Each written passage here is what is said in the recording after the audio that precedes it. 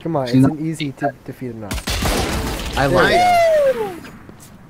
They're not Smurfs, dude. Yes, they are. They are.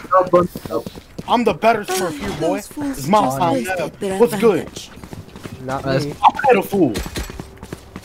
You're a pedo what? He's a pedophile. Excuse me?